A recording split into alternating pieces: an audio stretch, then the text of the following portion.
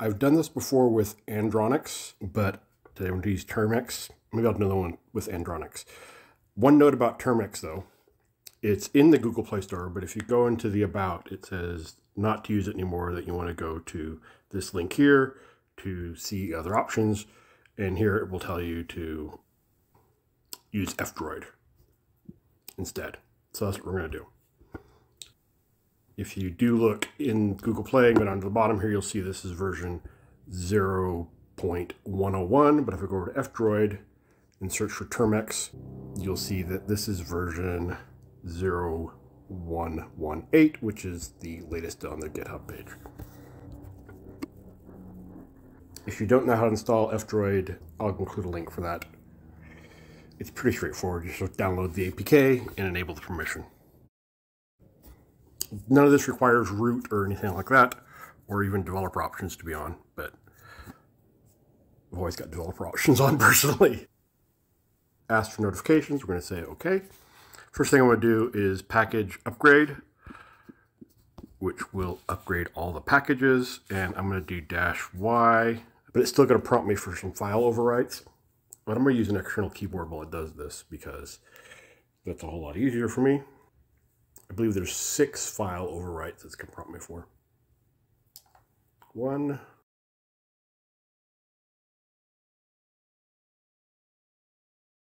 There we go.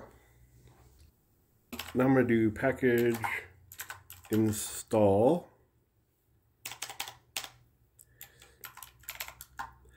Open SSH.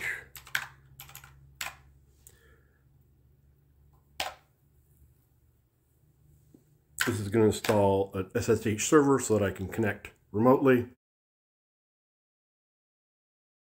But I do need to set a password.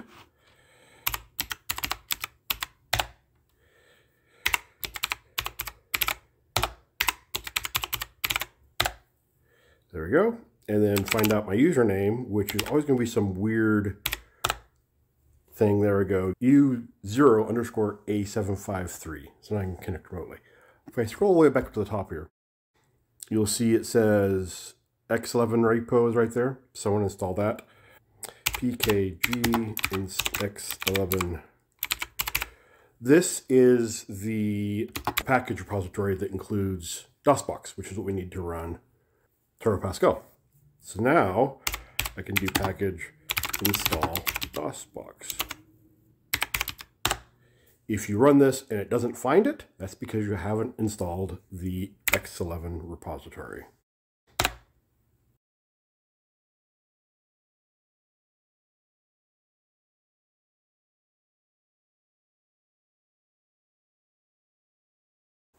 There we go. Now DOSBox is installed. And then do log cat dash SSHD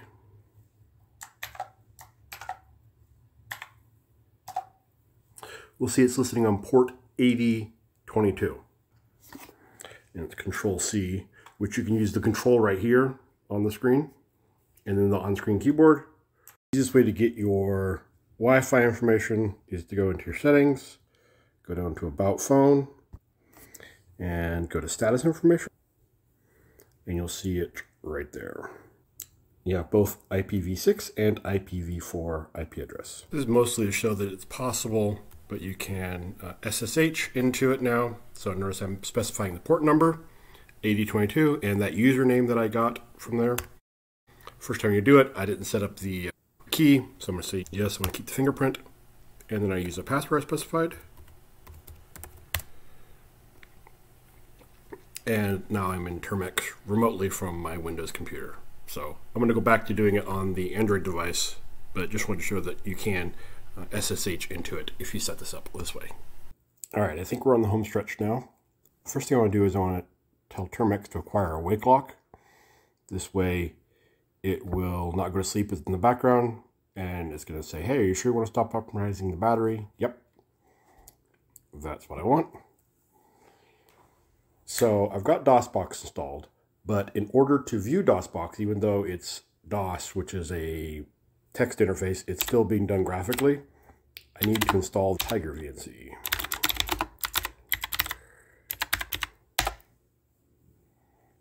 Yes. So now I'm going to set VNC server up. VNC server.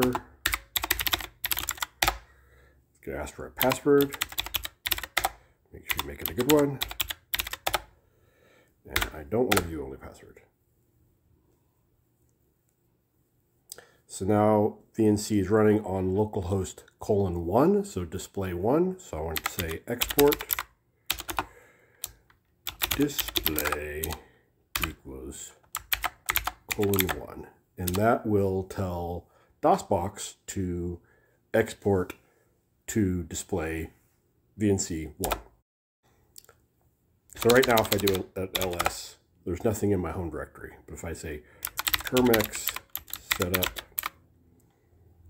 storage, this should prompt me to, yep, okay, it's going to prompt me for permissions now to access my storage. And so if I look here, I go into storage. So if I go storage,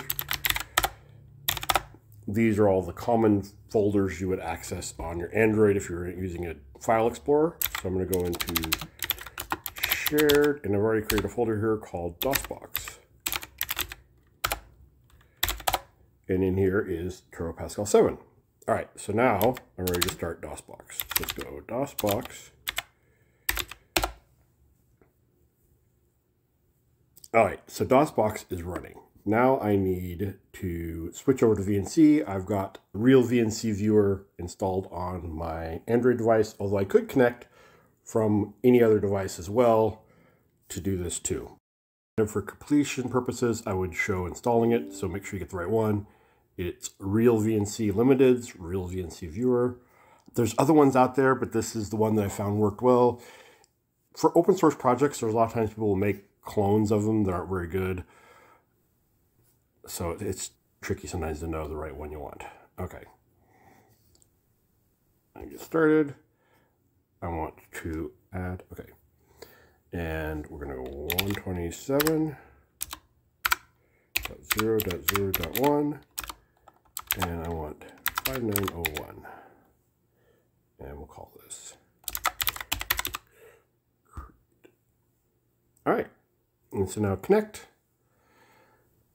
no, I don't want to warm me out of every time.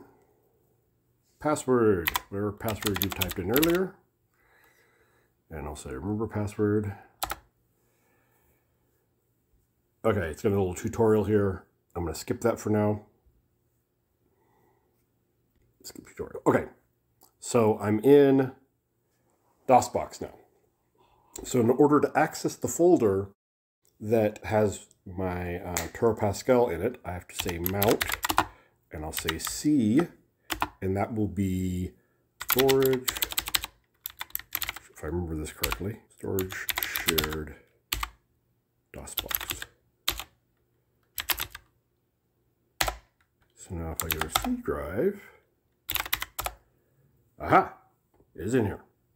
Oh, so there's a .no media file in there that I added as well because that will keep any graphics gallery programs from going through and finding images and saying, ooh, look, it's an image. Because there's a couple things it mistakes as images. In. TP7. I could add this to the path, but I'm going to go here manually and say turbo.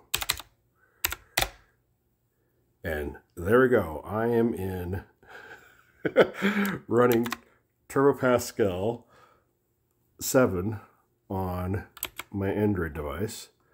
So let's say open, actually, I'll go File, Change Directory, and we'll go Examples.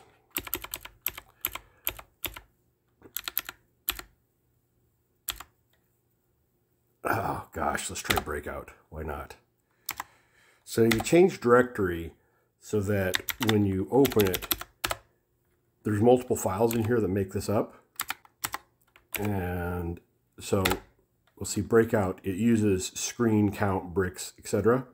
If you don't do this, then it won't find the rest of those files. In Turbo Pascal, there is no dproj or DPR file like there is in Delphi that specifies locations of other folders and files and stuff like that. So that was an important thing to do. So now I'll run. And I can change the Typematic rate. I'm going to say yes. Uh, press up arrow. We'll go with that. Um, I'll try that. Oh. Ah, man.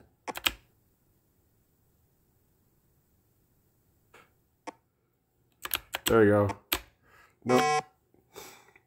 Turn speed down. Okay, let's try again.